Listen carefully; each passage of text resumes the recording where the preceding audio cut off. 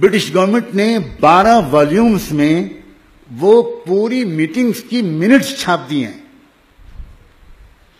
جو میٹنگ گاندھی، نہرو جنا مولانا آزاد، پٹیل، ان سب کے ساتھ جو چلتی تھی، ماؤنٹ بیٹن کی یا ان سے پہلے کے وائس رائے کی۔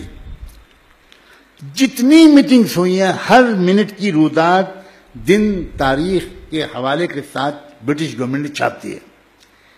یہاں تک کہ جو خط و کتابت ہوتی تھی، ان کے درمیان جو کرسپونڈنس ہوتی تھی، جو کمیونیکیشن ہوتا تھا، جو بھی کچھ یہ لوگ ایک دوسرے کو لکھ کے بھیجتے تھے، وہ سارے خطوط کی، چھوٹے سے چھوٹے نوٹس کی، اس کی آفیشل اٹیسٹڈ کاپی وہ سب برٹش گورنمنٹ نے چھاپ دی اتنا شاندار ثبوت ہے وہ اس بات کا آفیشل ڈاکومنٹ ہے برٹش گورنمنٹ کا، جس کا ایک ایک پیج یہ ثابت کرتا ہے کہ ملک کی تقسیم کی ایک فیصد ذمہ داری بھی مسلم لیگ پر، مسلمانوں پر اور جنا پر نہیں تھی۔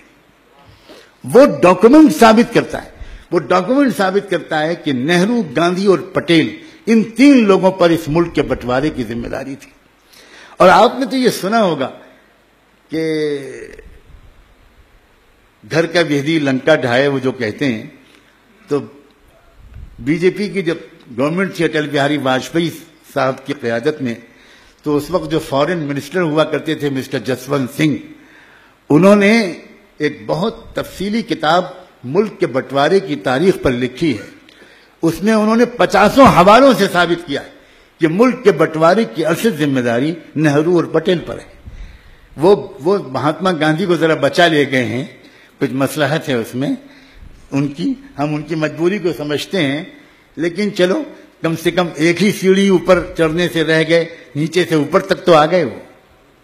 اور باقی مواد بہت موجود ہے پوری حقائق کو ثابت کرنے کے لیے۔ میں صرف یہ عرض کرنا چاہ رہا ہوں کہ جس وقت انیس سو پینتیس میں ڈاکٹر امبیڈکر نے تبدیلی مذہب کا اعلان کیا، اسی سال برٹش پارلیمنٹ نے ایک نیا قانون بنایا، India act nineteen thirty five. اس وقت سے انیس سو پینتیس تک برٹش گورنمنٹ جو انڈیا پر رول کر رہی تھی، وہ کر رہی تھی انڈیا ایکٹ نائنٹین نائنٹین کے ماتحت۔ پھر انہوں نے ایک نیا ایکٹ بنایا، nineteen thirty five, India act nineteen thirty five. اس nineteen India act nineteen thirty five کے فوراً بعد فوراً بعد گاندھی جی نے آزادی کی وہ تحریک جو پچھلے دس سال پہلے، بلکہ سولہ سال پہلے انہوں نے اچانک بند کر دی تھی۔ اس لیے کہ وہ آزادی کی تحریک علماء اور مسلمانوں کی قیادت میں چل رہی تھی اور گاندھی جی پیچھے پیچھے چل رہے تھے۔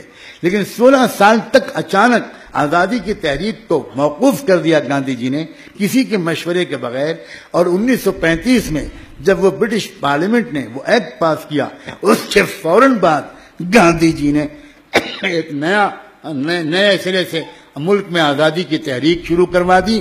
اور اس موقع پر ہندو مسلم فسادات بنگال سے کے ذریعے سے شروع کروائے گئے، جس کا بنیادی مقصد یہ تھا کہ امبیدکر نے وہ جو تبدیلی مذہب کا اعلان کیا ہے، جس کے نتیجے میں ایک اندیشہ پیدا ہو گیا تھا، جو اندیشہ بہت عرصے سے چلا آ رہا ہے، اور آج نہیں تو کل وہ پورا ہو کر رہے گا۔